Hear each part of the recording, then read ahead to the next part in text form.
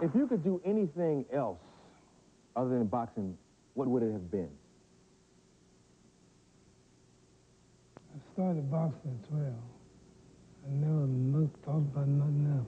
Never wanted to be like a doctor or a singer or anything like that? I mean, what you did was fine.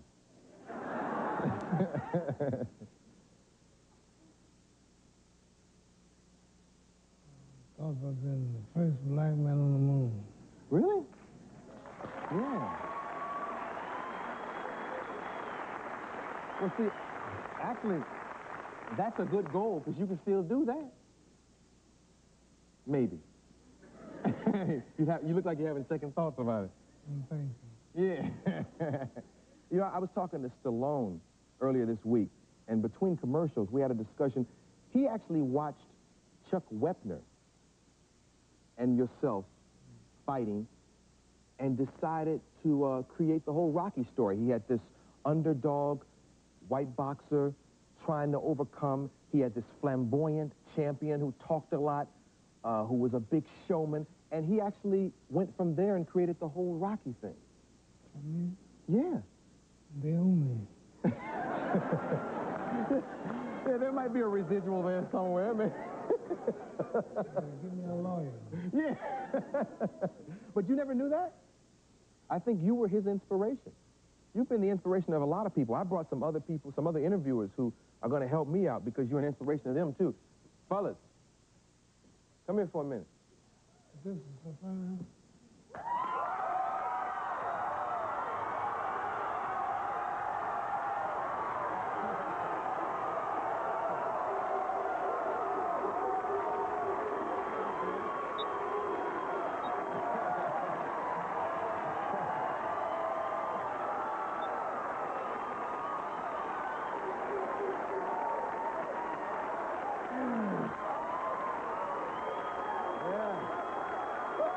Yeah.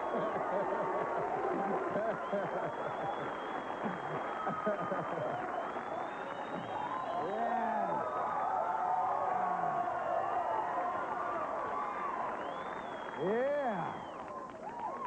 Now, what's wrong? oh, this one here? He's bigger. Huh? I'm scared of him. You scared of this one? He's a, he's a sweetheart. He's a real champ. A real champ. Really? I think so. Yeah, you're a real champ. You're a real champ. Who would have won if you fought this man in your prime?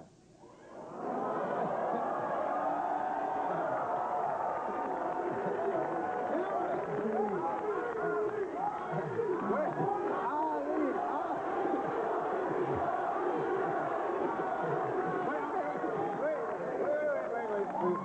Ali, I was a master. Yeah, you, you were a dancer. You moved. I, I wasn't that powerful. I was so fast. Uh-huh. If he hit me,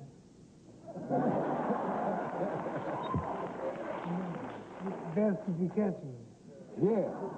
What would you say, Mike? I, I, I by no means, I'm, I'm vain. I know I'm great, but can I tell you something? Uh-huh. In this situation, every head must bow, every tongue must confess. This is the greatest of all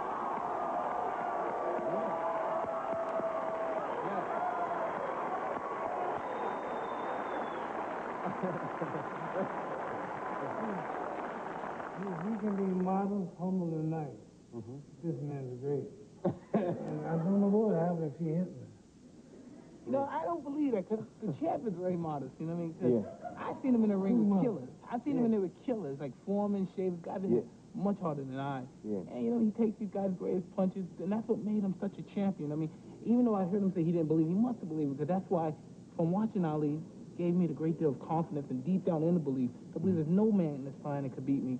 From listening to him all those years since I was a little boy. Yeah. And I and I he used to um make every prediction comes true, and he used to take his character and use it to reflect against his opponents, and he made them believe that he was invincible. And Yeah. so, and that's, and that's, my great inspiration. Yeah. I. Yeah. Yeah.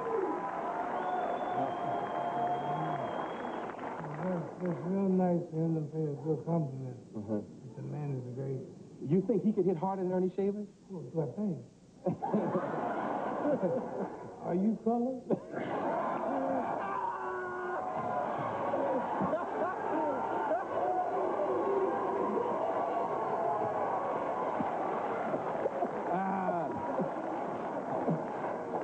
Sugar has told me many times that uh, you had a great influence on him. This is my father.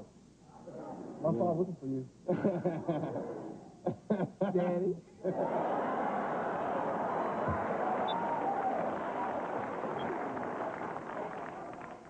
You got a rich son.